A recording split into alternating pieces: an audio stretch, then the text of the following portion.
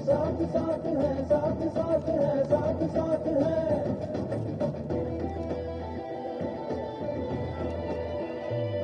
है दूर की दृष्टि है बदलाव की शक्ति। सम्मानित उत्तर प्रदेश की पत्रकार भाइयों। मीडिया के भाइयों, देश की समाजवादी पार्टी के राष्ट्रीय अध्यक्ष माननीय श्री अखिलेश यादव जी की गरिमामय उपस्थिति में और समाजवादी पार्टी के राष्ट्रीय महासचिव मोहम्मद आज़म साहब की गरिमामय उपस्थिति में आज हमारे बीच में मध्य प्रदेश बालाघाट के पूर्व सांसद कंकर मुंजारे जी अपनी बात आप सबके सामने रखेंगे। मैं श्री कंकर मुंजारे जी से अनुरोध करता हूँ कि वो अपनी बात आप सबके सामने रखें।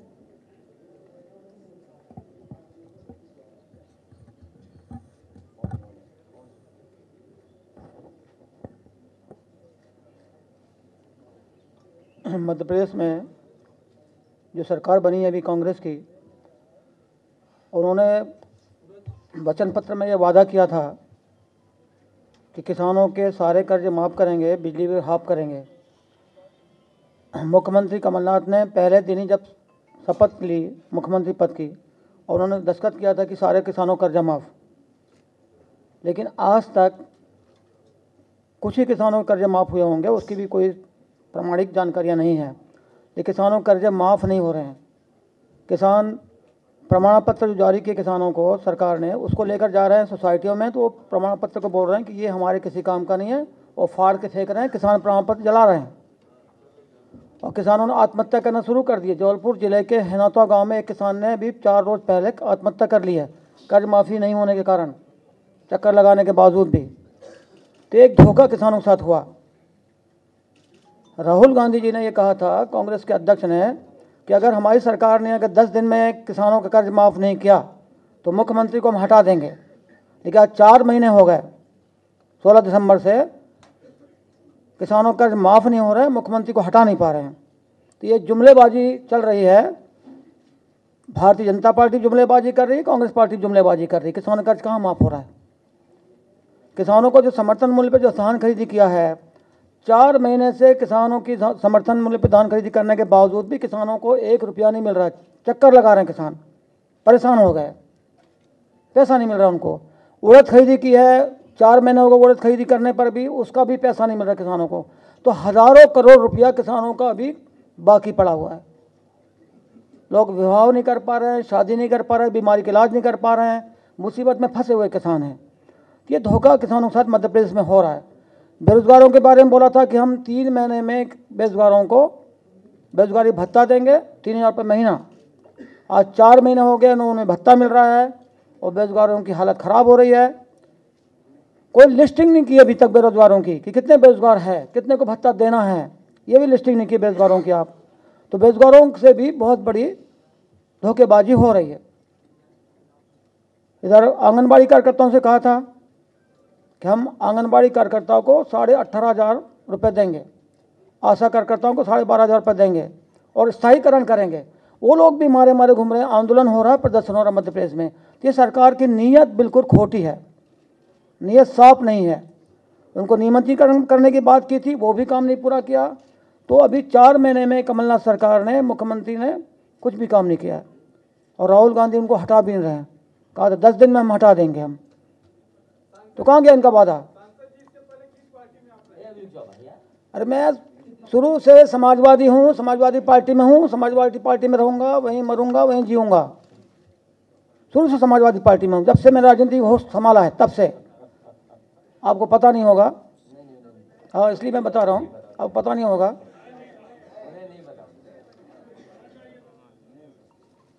अब कोई बात हाँ।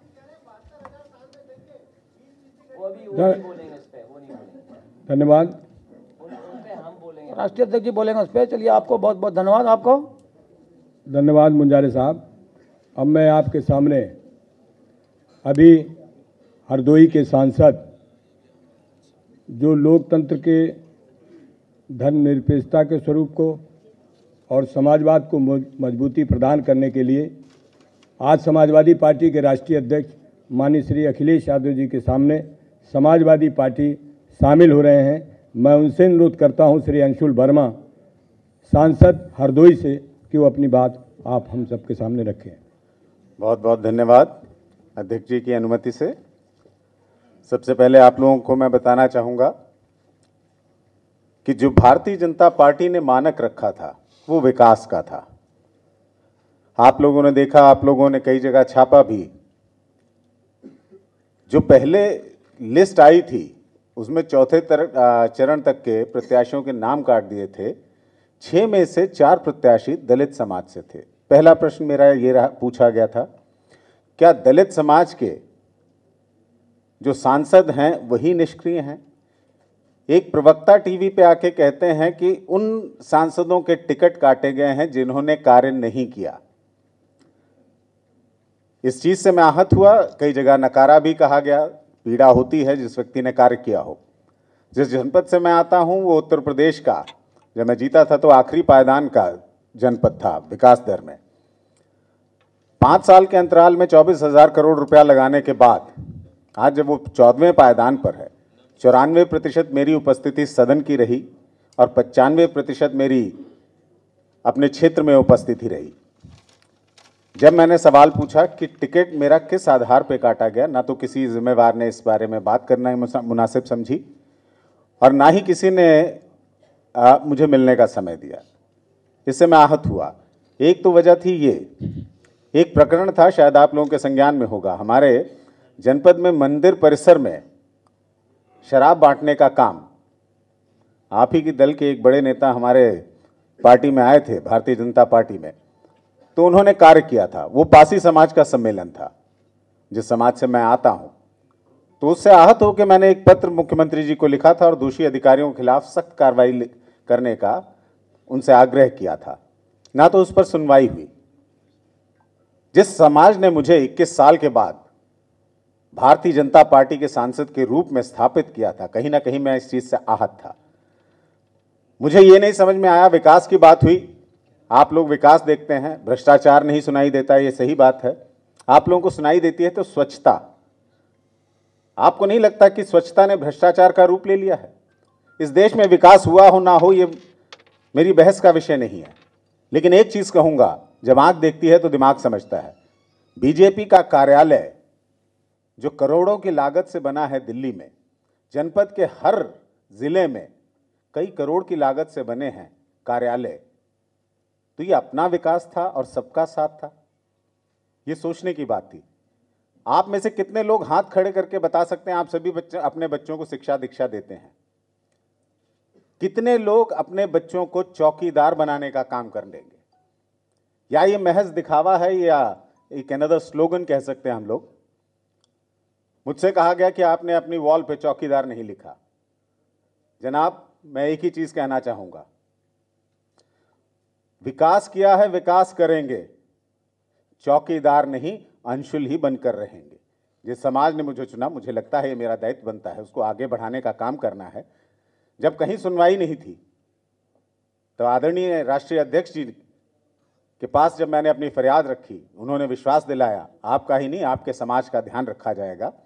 तो कहीं ना कहीं कथनी और करनी में अंतर पाया मैंने, जिस समाज का आपने अपने पार्टी को बढ़ाने का काम आ, में सहयोग लिया उनकी अनदेखी कतई बर्दाश्त नहीं की जाएगी। यही चीज़ आज मैंने भी वही कार्य किया अपना इस्तीफ़ा। जब मुझे कोई नहीं मिला था तो मैंने अपना काम ज़िम्मेदारी से किया मैं चौकीदार नहीं लिखूँगा। लेकिन अपना इस्तीफ़ा प्रदेश कार्यालय के चौकीदार को देकर आया हूँ और तो कुछ नहीं कर सकता था एक दिन का उसके वेतन का सहयोग करके आया हूँ। और जितने लोग चौकीदार लिख रहे हैं ये धन कुबेर जितने ही चौकीदार लिख रहे हैं मेरा आपके माध्यम से एक ही आग्रह रहेगा।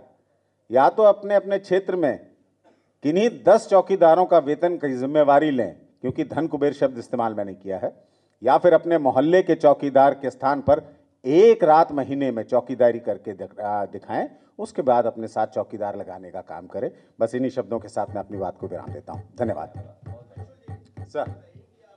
अभी सवाल जवाब बाद में अरे भाई अब मैं एक सवाल जवाब आखिरी में।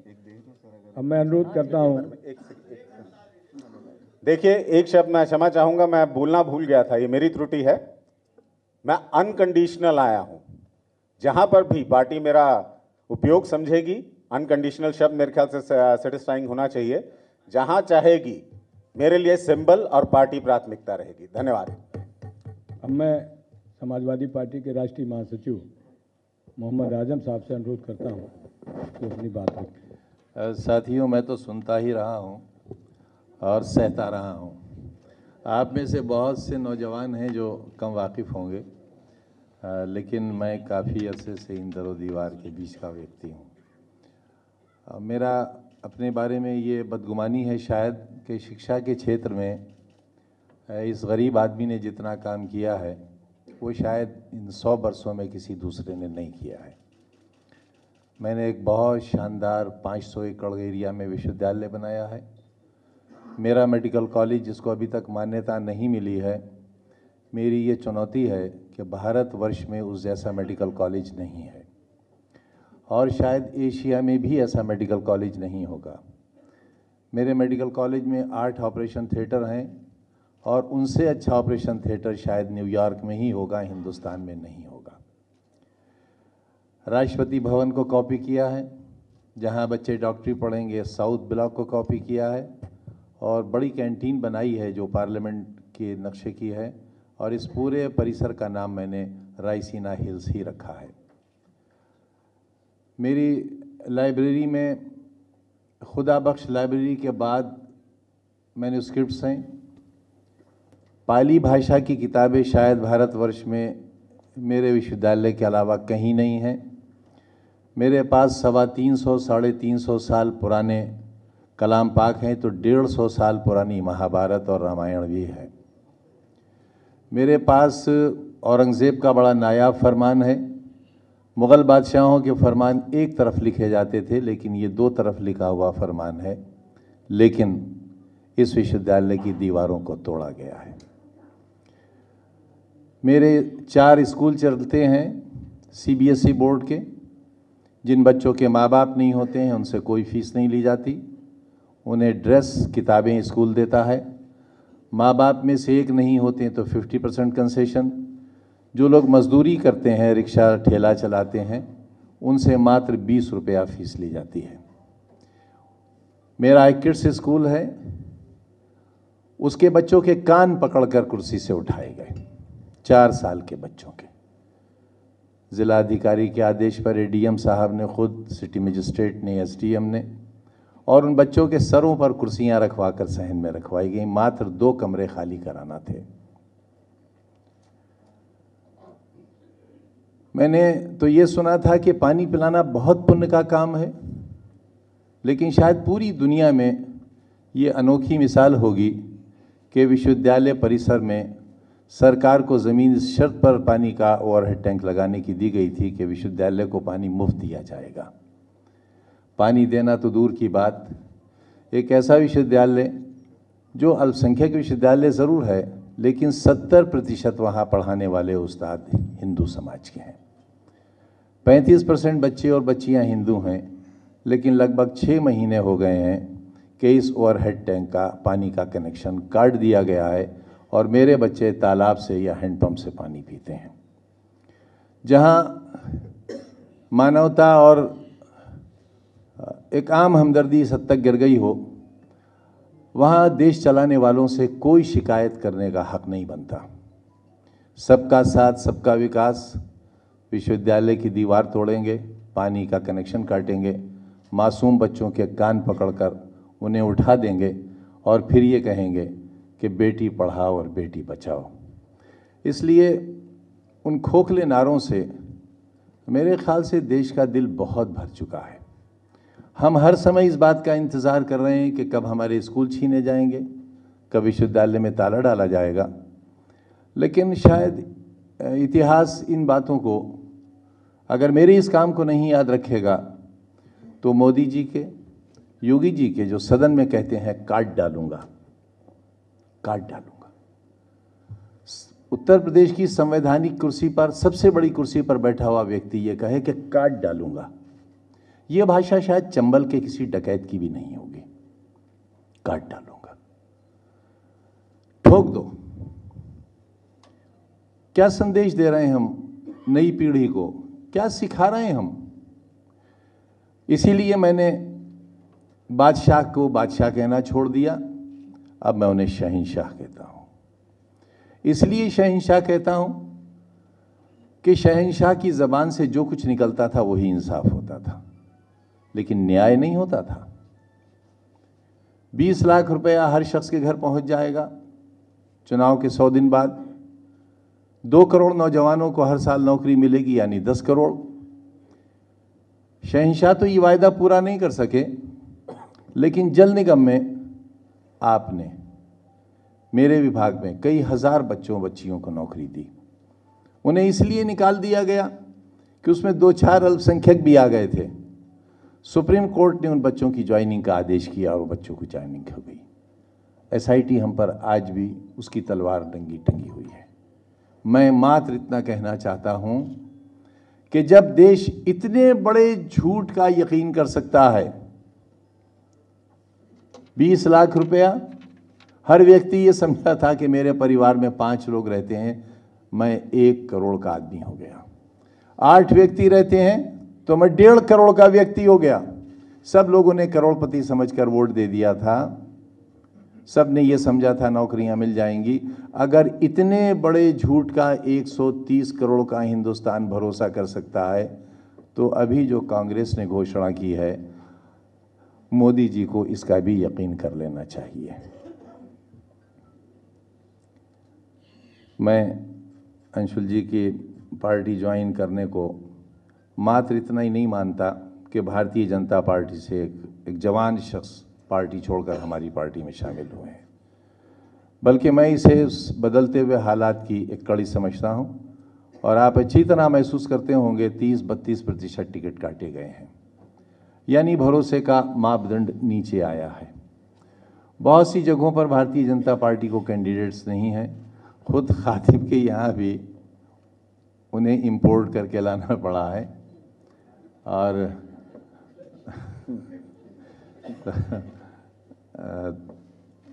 लेकिन कुछ वायदे अपने आप से भी हम लोग करते हैं। और वो वायदा यही है कि हम सिर्फ़ अपना चुनाव लड़ेंगे समाजवादी। अपना एजेंडा, अपना मैनिफेस्टो रखेंगे। और ये नहीं बताएँगे कि वो जो बम्बार्ड हुई थी एक पड़ोसी देश में, मैं इतना आपसे ज़रूर कहता हूँ, मैं हो नहीं सकता, मैं जानता हूँ, लेकिन अगर मैं प्रधानमंत्री होता। तो जिस वक्त 40 जवानों की मौत हुई थी, मैं 40 सेकंड का भी इंतज़ार नहीं करता और हमला कर देता। 40 सेकंड का इंतज़ार नहीं करता। बिल्कुल अंजाम से बेखबर मैं अटैक कर देता। मैं एक बात और भी जानना चाहता हूँ और आप तक पहुंचाना चाहता हूँ कि आप में से हिंदू भाइयों के यहाँ अंतिम संस्कार होता है और तभी मोक्ष प्राप्त होता है। किसी को उंगली मिल गई, माँ ने भरोसा किया। किसी को कटा हुआ हाथ मिल गया, पत्नी ने भरोसा किया। किसी को डायरी मिल गई और उसी का अंतिम संस्कार हुआ, क्योंकि मोक्ष प्राप्त होना है। इसी तरह हम मुसलमानों में नमाज़ जनाजा लाजमी है। अगर कोई शख्स मरा है तो उसकी जनाजे की नमाज़ लाजमी है, इसके बगैर मोक्ष प्राप्त नहीं होगा। आखिरत में उससे हिसाब नहीं होगा। अगर कोई समंदर में डूबकर मर गया है, उसका, उसकी लाश नहीं मिली है तो गायबाना नमाज़ जनाजा होती है। यानी वो शख्स मौजूद नहीं है, लेकिन उसके जनाजे की नमाज़ हो रही है। हमने सुना कि साढ़े चार सौ लोग पड़ोसी देश में मार दिए गए, लेकिन अभी तक किसी एक की भी गायबाना भी नमाज़ जनाजा की इतला दुनिया को नहीं मिली है। मैं भरोसा करता हूँ कि ज़्यादा होंगे मरने वाले, लेकिन जानना चाहता हूँ पड़ोसी मुल्क के इस्लाम वालों से कि इतने लोग मर गए, न किसी की नमाज़ जनाजा हुई, न किसी की गायबाना नमाज़ जनाजा हुई आखिर ये कैसा इस्लामी मुल्क है? हम उससे जानना चाहते हैं, अपनों से नहीं जानना चाहते। बहुत शुक्रिया। आपका धन्यवाद करता हूँ। और आप देखेंगे इंशाल्लाह इनकी मूछों में भी दम है और इनकी आँखों में भी दम है। और दोनों ही हमारे काम की हैं। बहुत बहुत धन्यवाद। आदरणीय राष्ट्रीय अध्यक्ष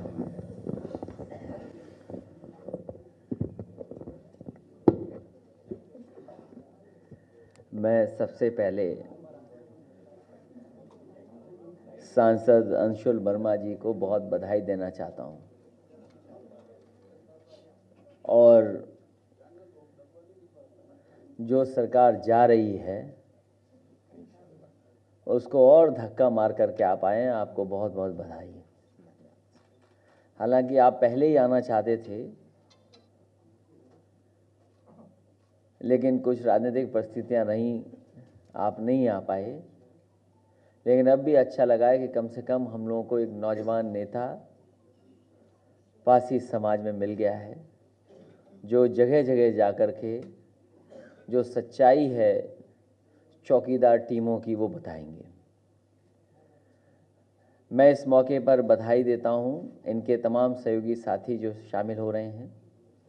और इस चुनाव में पूरी ईमानदारी से इनका सहयोग और मदद मिलेगी। मैंने पहले भी कहा था कि एक के अलावा भारतीय जनता पार्टी का और कहीं खाता नहीं खुलने वाला है। जनता नाराज़ है, दुखी है, परेशान है। असल मुद्दे या असली मुद्दे ज़मीन पर जो हैं, जनता उसी का इंतज़ार कर रही, उसी पे मतदान होगा। नौजवान ढूंढ रहा है कि आखिरकार नौकरी कैसे मिलेगी, रोज़गार के अवसर कैसे पैदा होंगे। किसान को जो सपने दिखाए गए थे कि कर्ज माफ़ हो जाएगा, आय दोगुनी हो जाएगी, लेकिन अभी भी वो सपने के सपने ही बने हुए हैं। जो पैसा थोड़ा बहुत मिला भी है किसानों को, किसान वो जानते हैं, जो पाँच किलो उनकी बोरी से चोरी हुई थी। वही पैसा सरकार लौटाने का काम कर रही है। उत्तर प्रदेश की सरकार को जो कर्ज माफ़ी के बाद किसानों की खुशहाली लाने का बात करनी थी, वो नहीं हुई है। आलू अभी तक एक किलो सरकार ने नहीं खरीदा है। कई फ़सलें आलू की किसानों ने ली हैं। लेकिन अभी तक सरकार ने एक किलो आलू भी नहीं खरीदा है। सरकार और मुख्यमंत्री जाकर के सभा में ये कहते हैं कि गन्ना किसानों का इतना भुगतान हुआ है, इतने हज़ार करोड़। किसान भुगतान नहीं जानना चाहते हैं। उत्तर प्रदेश का किसान अपना बकाया पैसा चाहता है जो सरकार अभी भी नहीं दे पा रही है। चौदह दिन का वादा किया था लेकिन अभी भी गन्ना किसानों का भुगतान नहीं हो पाया है। और फिर जो महँगाई बढ़ी है, जो सरकार की नाकामी है, जो महिलाएँ असुरक्षित हैं, और घटनाएँ एक के बाद एक हो रही हैं, कानून व्यवस्था पूरी तरीके से चौपट हो चुकी है। जो रिस्पांस सिस्टम था, सौ डायल हंड्रेड उस डायल हंड्रेड को भी बर्बाद करने का काम अगर किसी ने किया है तो भारतीय जनता पार्टी ने किया है। जो अब चुनाव की तारीखें आ गई हैं, हमें उम्मीद है कि एक एक वोट गठबंधन पे पड़ेगा। कहीं कोई कन्फ्यूज़न नहीं है। इस भारतीय जनता पार्टी की दोनों सरकारों ने बहुत बड़े पैमाने पर निराश किया है। मैं एक बार फिर अंशुल वर्मा जी का बहुत बहुत धन्यवाद देता हूँ, बधाई देता हूँ। और कंकन मुंजारे जी जो बालघाट से पहले भी एमपी रहे हैं, उन्होंने जो बातें कही हैं, वो इसलिए ज़रूरी थी कि कम से कम लोग जान जाएँ। और समाजवादियों ने अगर कभी वादा किया होगा तो उसको ज़मीन पे ला करके पूरा करने का काम भी किया है। इसीलिए कल मैंने कहा कि समाजवादी पार्टी इस बात का अध्ययन कर रही है कि गरीब को हम क्या दें? गरीब को किस तरीके से समाजवादी योजनाओं से जोड़ें? जो उसका सम्मान हो, वो सम्मान लौटे, खुशहाली उसके घर पर आए। उस अध्ययन कर करके बहुत जल्दी हम आपके बीच में आएँगे और आपके माध्यम से देश के सामने वो बात रखेंगे। वहीं जो अन्याय हो रहा है, आदरणीय आज़म खान साहब के साथ इतना शायद अन्याय कभी नहीं हुआ होगा जितना ये भारतीय जनता पार्टी की सरकार कर रही है। उर्दू दरवाज़ा तोड़ दिया गया यूनिवर्सिटी की दीवारें तोड़ी गईं और न जाने क्या क्या इस सरकार ने किया है। कल लाइसेंस भी खारिज कर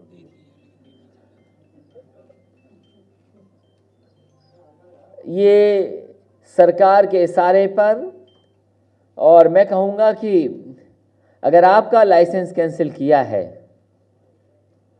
तो मुख्यमंत्री जी का भी लाइसेंस कैंसिल होना चाहिए। आप पर तो पॉलिटिकल मुकदमे हो सकते हैं। उनके पास लाइसेंस है नहीं। नहीं लाइसेंस हैं। उन्होंने जो एफिडेविट दिया है चुनाव आयोग को जो चुनाव आयोग को दिया है उसमें कुछ उन पर लाइसेंस हैं। अगर चुनाव को कोई बात कही गई है तो मैं समझता हूँ वो बात सच होगी।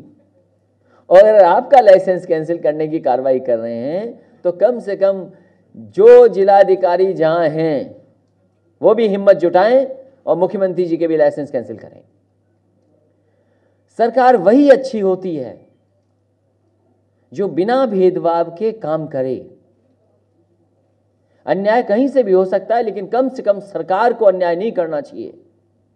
और जब सरकार अन्याय करने लगे तो जनता को उस सरकार को हटा देना चाहिए। और यही मौका जनता को मिलने जा रहा है। ये परिणाम बताएगा कि सरकार के खिलाफ कितना मतदान हुआ है।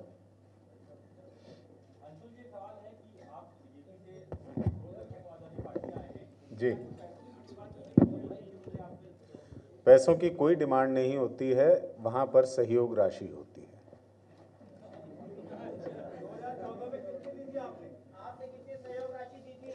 ये राशि वाली बातें मत करो ये ना कीजिए ये ना कीजिए ये देखिए पत्रकार साथियों ऐसा है। अब बात स्पेस तक चली गई इसलिए इसकी बात मत करिए आप।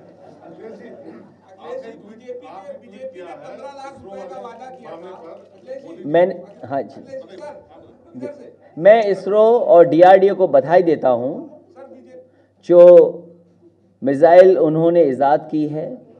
उसके लिए भारत की सबसे प्रीमियर जो एजेंसीज हैं और जो साइंटिस्ट हैं, जो इंजीनियर्स हैं जिसमें जुड़े रहे होंगे, उनको मैं बहुत बहुत बधाई और मुबारकबाद देता हूँ।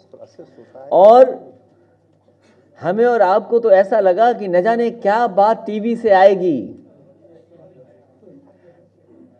लेकिन देखो, चुनाव सर पर है। उस समय भी धोखा टीवी से दिया जा रहा है। टीवी से धोखा। और ये जो साइंटिफिक और स्ट्रेटजी और डिफेंस की जो रिसर्च है वो होती रहती हैं। हमेशा चलती हैं। हमसे चीन ने हमसे पहले न जाने कब कर दिया। तो लड़ाई या जो जनता को मुद्दों से हटाने का काम कर इसीलिए मैं कहता हूँ समाजवादी लोग बेरोजगारी से किसान की भलाई से और व्यापारी के सामने जो संकट हुआ उससे नहीं हटेंगे अखिलेश जी बीजेपी ने पंद्रह लाख रुपए का वादा किया था वो तो पूरा नहीं हुआ अब राहुल जी ने जिस तरह से बहत्तर हज़ार रुपए पर ईयर की बात कही बिना अध्ययन के हम नहीं कह सकते हैं, समाजवादी पार्टी ने इससे ज़्यादा करके दिखाया है। तीन लाख पाँच हज़ार का लोही आवास, समाजवादी पेंशन, लैपटॉप, कन्या विद्याधन, अगर योजनाओं को जोड़ करके, कटौती कर करके कोई एक पैकेज बना करके दे दें तो बड़े पैमाने पे पे- गरीबों की मदद की जा सकती है। ई रिक्शा दिया है।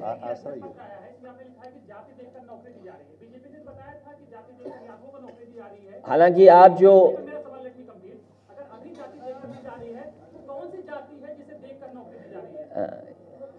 ये मंच से मैं बोलूँगा। ये यहाँ पर बोलने की जगह नहीं है, लेकिन मैं मंच से ज़रूर बोलूँगा। जिन लोगों ने मंच से हमारे बारे में कुछ कहा था, उनका जवाब मंच से ही होगा और जनता के बीच में होगा।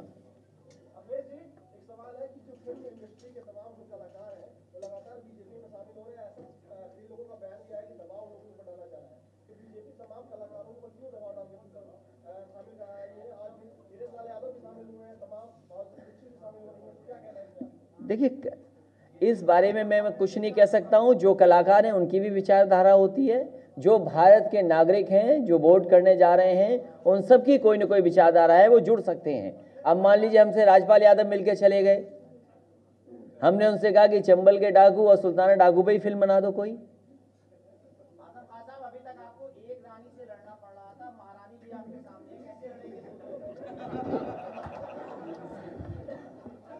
आप मुसलमान हैं? नहीं है? है है हैं। तो तो आपके यहाँ तो काफ़ी गुंजाइश है।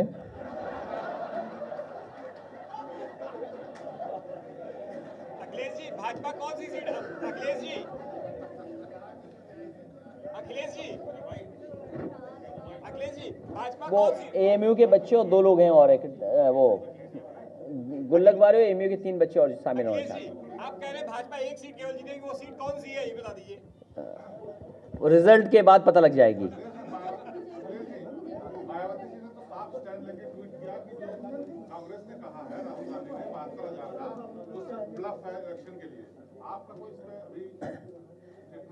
अभी कंकन मुंजारी जी ने क्या कहा? वो उसी जगह से आए हैं, मध्य प्रदेश से, जहाँ पर कांग्रेस की सरकार चल रही है। जो वादे किए हैं वो अभी तक पूरे नहीं हुए हैं। और फिर आखिरकार गरीबी का दोषी कौन है? ये देश में जो इतनी गरीबी है, कल आप नहीं थे शायद प्रेस में। मैंने कहा, आप थे। आप जानबूझ करके नहीं सुनना चाहते उन बातों को। मैंने कहा कि 30 और 35 और 40 साल में दुनिया के अड़ो, हमारे पड़ोस में देश कहाँ पहुँच गए? दुनिया कहाँ से कहाँ चली गई? लेकिन हमारा देश देखो कहाँ पहुँच गया। अगर कोई जिम्मेदार है तो उसमें कांग्रेस भी जिम्मेदार है, गरीबी की, बेरोजगारी की और हमारे देश को पीछे करने में। और बीजेपी और कांग्रेस और कांग्रेस और बीजेपी में कोई ज़्यादा फ़र्क नहीं है। वो एक अच्छे मंत्री हैं जो कम से कम सरकार में रह करके सच बोल रहे हैं। मैंने आपसे कहा कि अध्ययन कर करके उससे अच्छा गरीबों के लिए काम समाजवादी सरकार ने किया।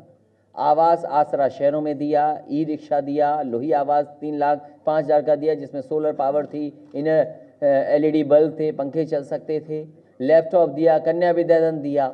इसलिए हम चाहते हैं कि अगर ये बात है कि गरीब की मदद होनी है तो कम से कम उस गरीब की सभी समस्याओं का समाधान हो जाए। अब शौचालय ही देख लीजिए कैसा दिया है शौचालय। कितनी बार मैं याद दिलाऊं आपको शौचालय के बारे में? आप खुद जानते हो उस बात को? कुंभ को महाकुंभ कह दिया? भाई जो शौचालय दे रहे हो बिना पानी का शौचालय कैसा दे रहे हो आप? इसमें नीति आयोग क्या कर रही है? सरकार के लोग क्या कर रहे हैं? कम से कम समाजवादी लोगों ने ये फैसला लिया है कि कोई ना कोई योजना ऐसी बने जिसमें तमाम गरीब की समस्या का समाधान हो सके।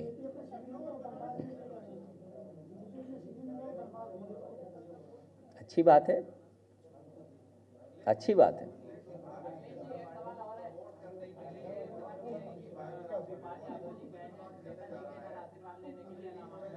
किस अखबार के हो तुम भाई? अच्छा तुम्हारा जवाब है जूनियर है, सबसे तब भी जवाब देंगे तुम्हारा।